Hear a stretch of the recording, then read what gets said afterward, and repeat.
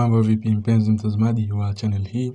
Ni kwa mara nyingine tena na kama ni mara kwa kwanza kabisa unajiunga nasi basi ni kuombe usiache kusubscribe hapo chini na kisha kubonyeza alama kengele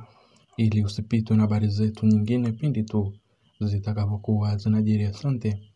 na karibu tena ndani ya channel hii pendwa kabisa. Na leo mpenzi mtazamaji nimekuandalia uchambuzi ambao utapata kuchambua mechi ambayo imetoka kumalizika hivi punde mechi kati ya klabu ya Simba dhidi ya klabu ya Al Ahli.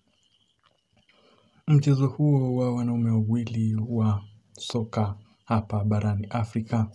miamba kutoka kaskazini mwa Afrika kutoka nchini Misri pale jijini Cairo, Al Ahli dhidi ya wababe wa soka hapa Afrika Mashariki pamoja na ukanda wa kusini, klabu ya Simba, ambapo mchezo huo umetamatika kwa sare ya bao mbili kwa mbili. Klabu ya Simba kipindi cha kwanza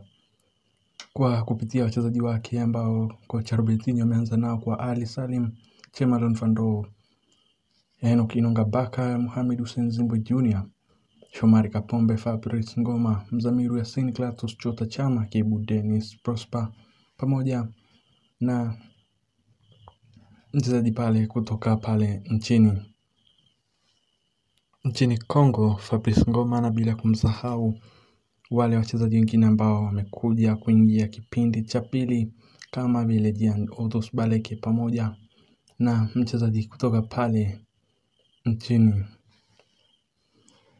Msumbiji Luis Jose Miquissone wameshindwa kuonyesha makali yao mnamo katika kipindi cha kwanza, lakini baada ya kocha Robertinho kufanya sababu kipindi cha pili kumwingiza Jean Otos Baleke pamoja na Sadio Kanute na kumtoa Luis Jose Miquissone pamoja na Mzamiru Yasini, mpira umebadilika huku klabu ya Simba ikipata goli la kwanza kupitia kwa mchezaji wake hatari kabisa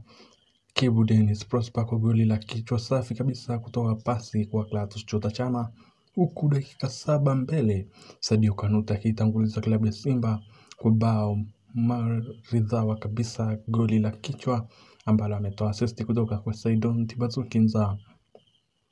Hata hivyo goli hilo halijadumu dakika nyingi, klabu ya Al Ahli wamefanikiwa kulirudisha na mchezo huo umetamatika kwa sare ya mbili kwa mbili, na mchezo unaofuata ni pale jijini Cairo.